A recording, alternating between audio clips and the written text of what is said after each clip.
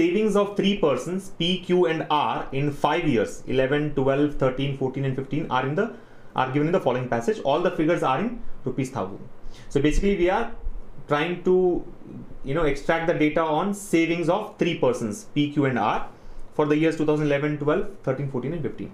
Right, and a lot of data is given here in terms of a passage. We have to you know fine it, refine it, and get it in a simple tabular form. Let's say. So let's let's make the table first, right? What happens? Uh, yeah, it would be something like this.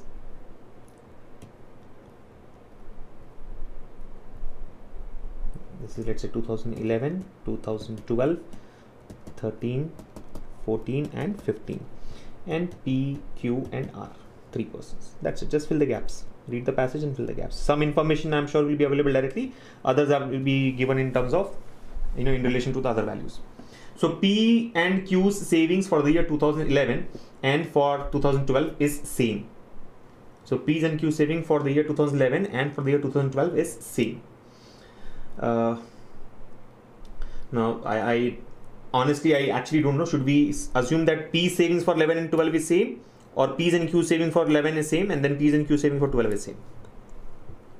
P's and Q savings for the year 2011 and for the year 2012 is same. It, it can be taken in both the ways. Like for example, P in 11 and P in 12 is same. Q in 11 and Q in 12 is same. These two are equal, these two are equal. Or these two are equal and then these two are equal. Let's let's say this is let's say for example this is P. This is uh, P and this is P, this is Q and this is Q. You understand?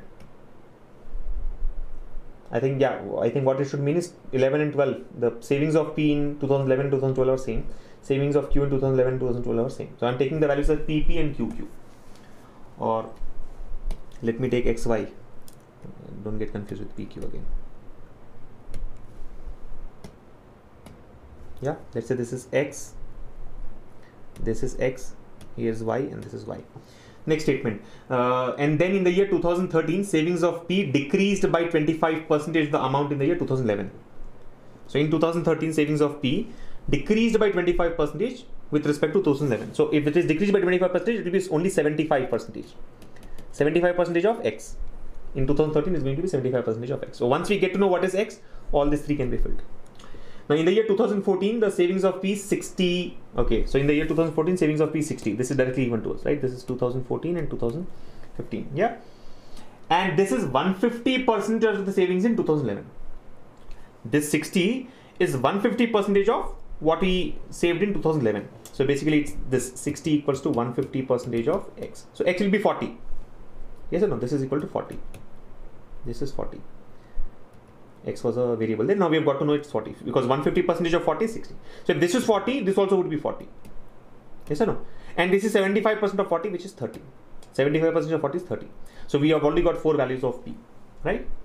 In 2015 the savings of p increases by 5000 in comparison to previous year. In 2015 it increases by 5000 so if this is 60 this will be 65 remember all the values are in thousands. So this is 60000 this will be 65000 yeah? Next uh, if in the year 2011 the ratio of savings of PQR is 8 is to 10 is to 7. Okay, so this ratio in 2011 he says the ratio is 8 is to 10 is to 7. Now we know what is 8. 8 8 parts are 40,000. If 8 parts are 40,000 meaning each part is 5,000 rupees, right? 40,000 refers to 8 parts. 8 parts are 40,000 means each part is 5,000. So 10 parts will be 50,000. 7 parts will be 35,000. And if this y is 50, this y also will be 50. Yeah and the savings of Q in the year 2013 is half of the savings in 2012.